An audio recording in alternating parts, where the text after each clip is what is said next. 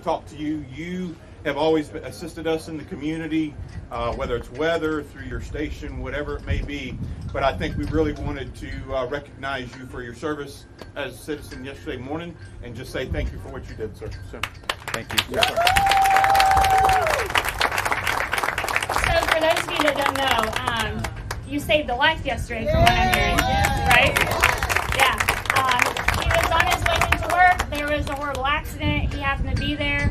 A lot of stuff happened. Water hoses, fire, the whole shebang. So you are a true hero. Thank you so much for doing what you do. And with that, I'm turning the mic over to you to get this fair open. Richard! Richard! Thank you very much. I said it this morning that I'm as embarrassed as I am humbled by all of the accolades, um, the men and women in law enforcement, the folks that fight the fires. There are so many that do this professionally have come by and said thank you and attaboy, and it means the world to me. Um, I just hope that if anybody is in a similar position that they do what they can do to help save somebody.